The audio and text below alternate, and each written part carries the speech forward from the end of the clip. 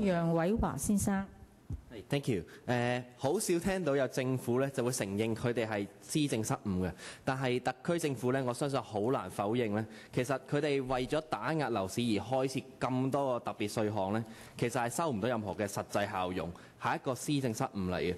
其實只要你嘥少少時間去收集下啲資料咧，將樓價同埋各種嘅特別措施擺喺條 timeline 上邊去做一個對照嘅分析咧，你發現原來樓價咧根本係冇因為咁多種嘅措施而下跌過嘅，跌嘅咧係成交量，樓價冇跌過。近來樓價咧有少回落啊，但係亦都唔見得同政府有咩關係。加稅咧，從來就唔係令到價格回落嘅一個手段嚟嘅。你揾一揾咁多本教科書咧，都冇人咁樣話你聽嘅。誒，加稅係無疑加重咗交易嘅成本，炒家真係喺樓市度消失咗。但要樓價跌咧，重點係要增加供應，唔係加稅。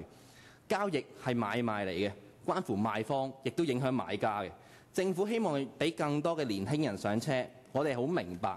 啊！我都好開心嘅，即係你希望俾年輕人上車，但係咁多種特別措施呢，為樓市加添嘅呢，唔係俾我哋上車嘅機會，而係好多 uncertainty。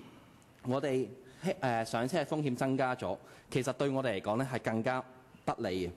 冇人可以預測將來嘅，知道自己唔需要賣樓套現嘅，買個股票嘅呢都明白嘅，長揸變短炒嚇，短炒變長揸，其實就啊十分之 common 嘅啫。我哋唔會因為特別印花稅而上車有望，但係你會令我哋咧買落更加危險、更加高風險嘅，還俾我哋一個上車嘅機會。啊，希望立法會否決有關嘅稅項。啊，多謝咁多位。好，唔該，下一位。